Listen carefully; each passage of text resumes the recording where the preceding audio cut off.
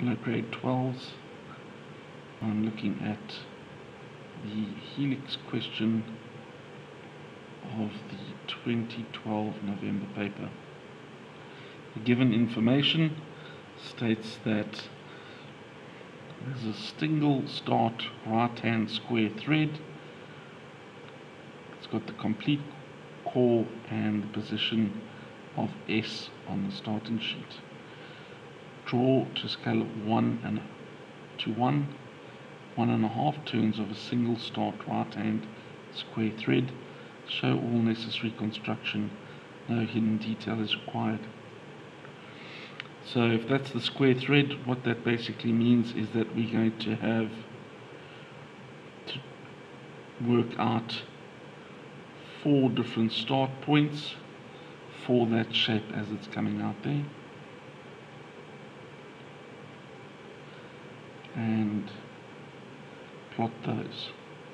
So I'm going to start by drawing the circles that we're going to need. So we've got a circle with a diameter of 42 added onto that another 24.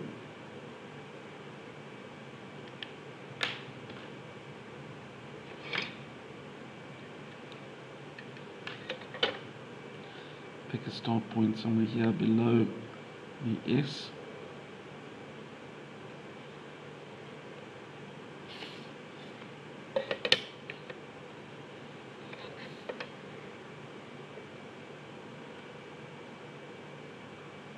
While you're doing this you can put in your center line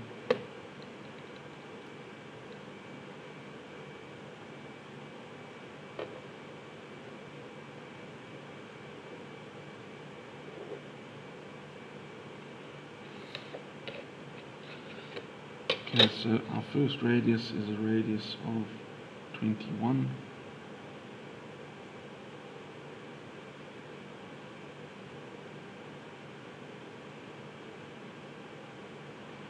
And then they added a distance of 24 on that.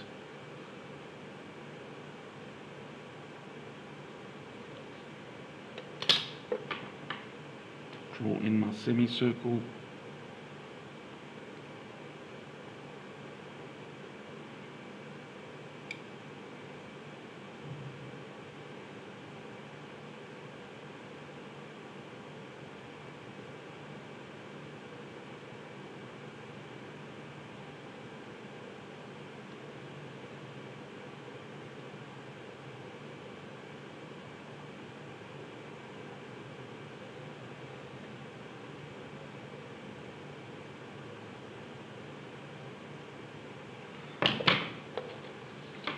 draw in my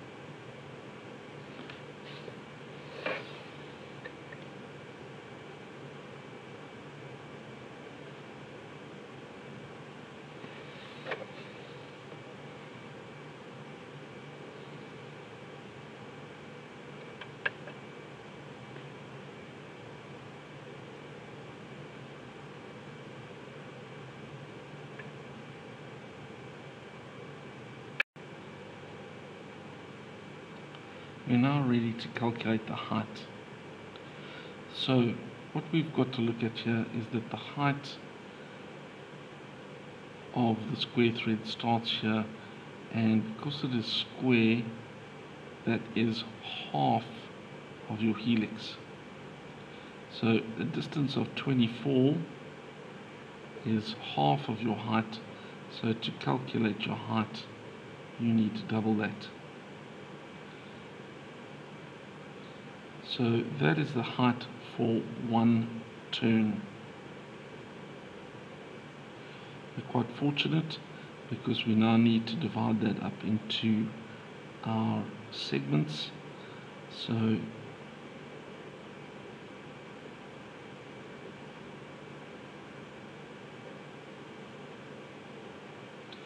our height divisions need to be divided up into heights of 4 millimeters.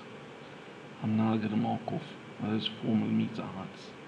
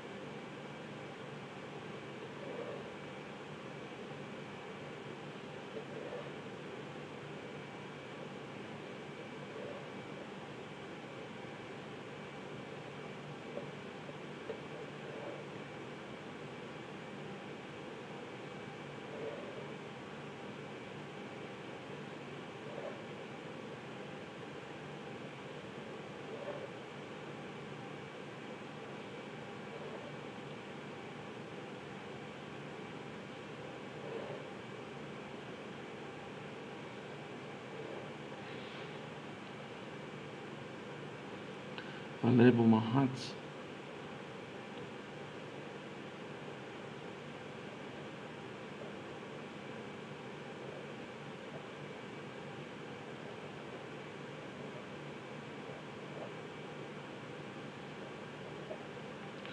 Now remember that this is for one turn.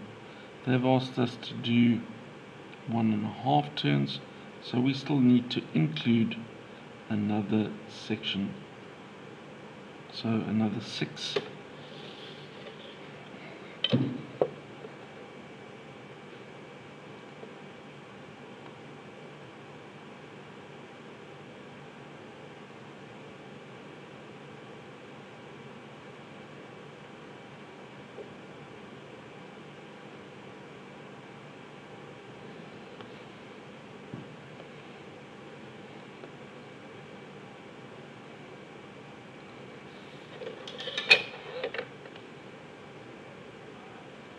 And this is for the bottom helix of this square thread you do need to remember that it does go to the top of the square thread so we actually need to go another six heights after this one to get the top point of this helix.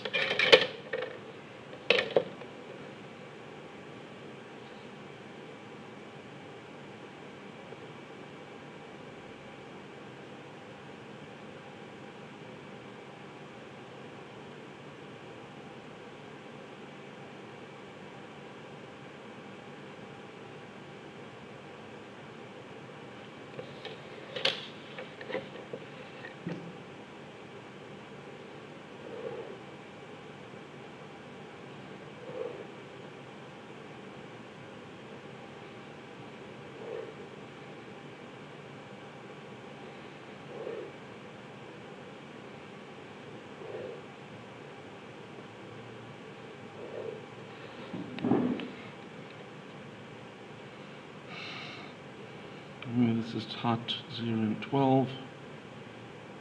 1, 2, 3, 4, 5, and 6. That's where my one and a half turns will finish.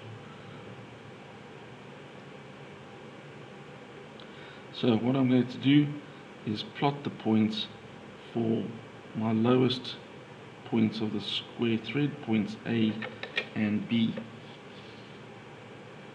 If I label them on the top view, front view,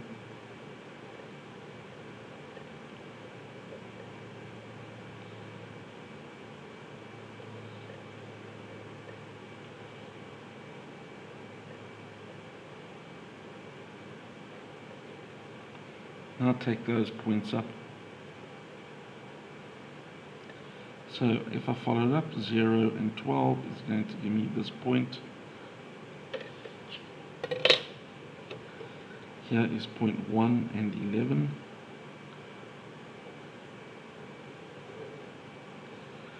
There is height 1 and here is height 11.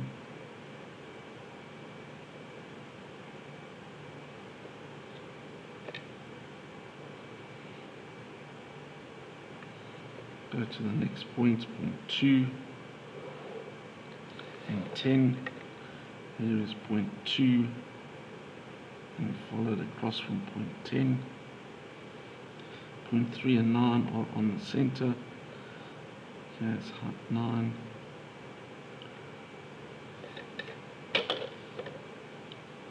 Points 4 and 8. Follow those across.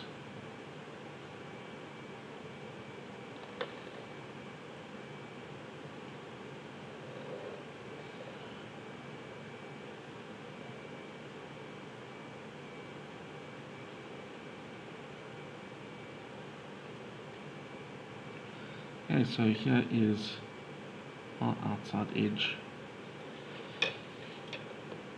Our middle three lines line up.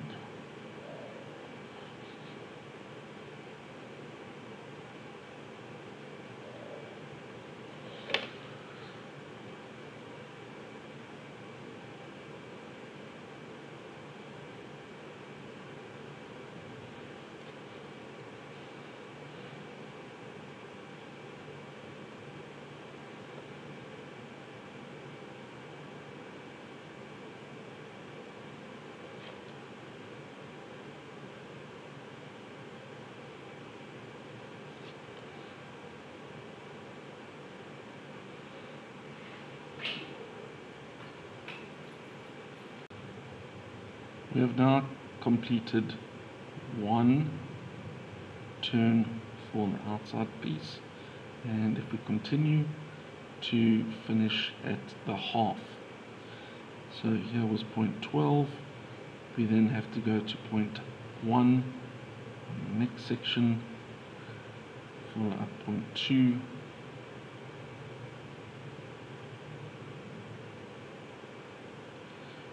3 height 3, 4, height 4, 5, I need to project a bit further.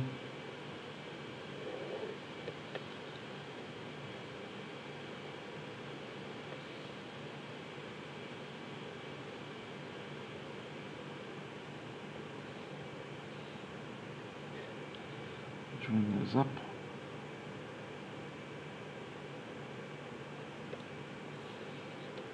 Straight line.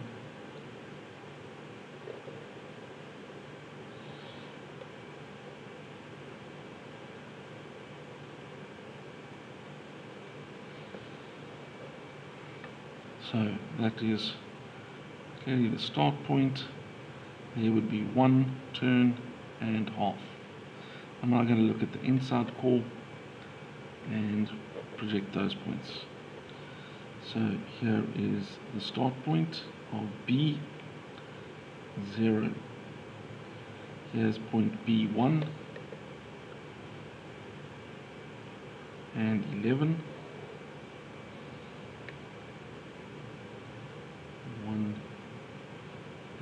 That's 11.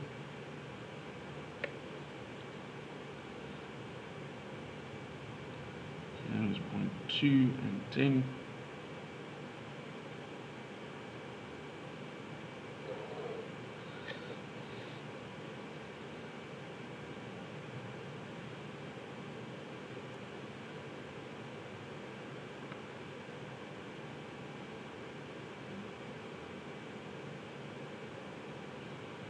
Okay, here is point 3 and point 9.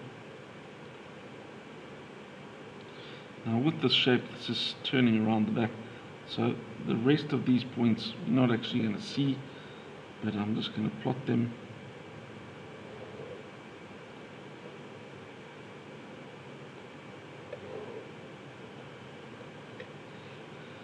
So here's point 4 and 8.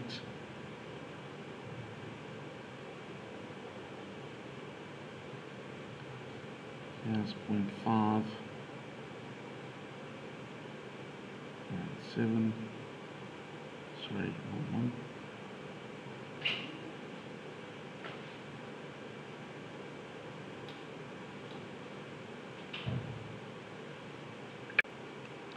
I'm now going to take the top part of the square thread and plot that helix. So from the side I'm going to start relabeling the heights because they are at a different point.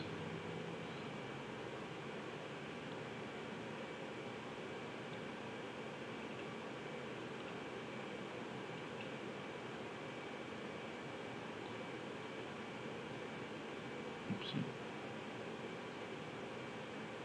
There's one, two, three, four,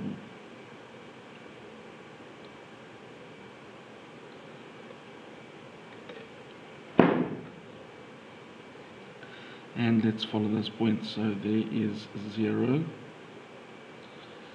here is point 1 here is point 2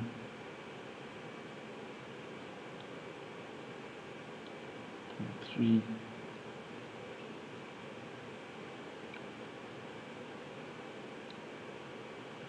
Point four.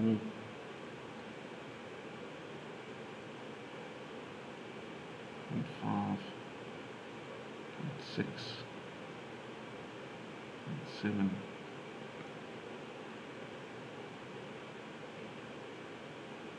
Point eight. Point nine.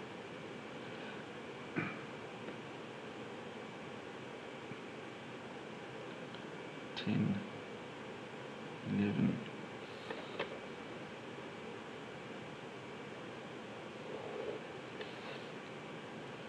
Twelve. There's another half turn. So one, two, three,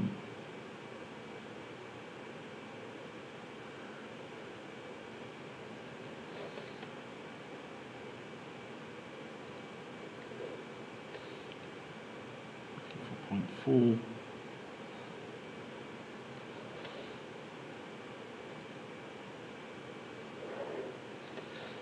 Point five, point six.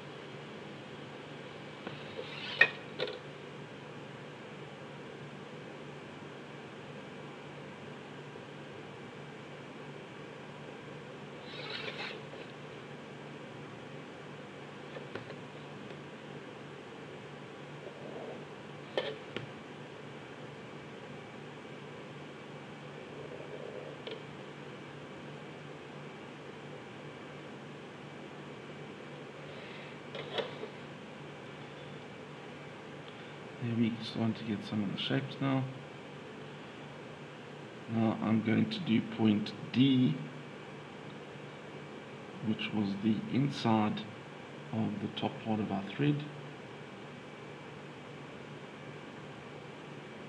As you can see, this is falling behind this shape, so I'm not going to be seeing this. So the inside core, there's D at 0. Here is 1, 2 to height level 2, 3 where they intersect, 4 to height 4, where we're going to see that little piece start coming out. Five.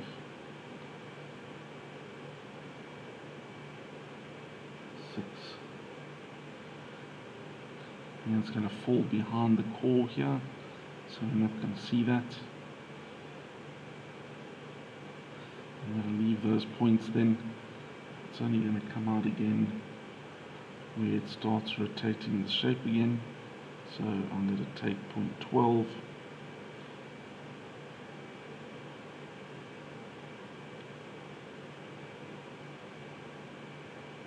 point 1 point 2 point 3 and once again it's going to fall behind the shape.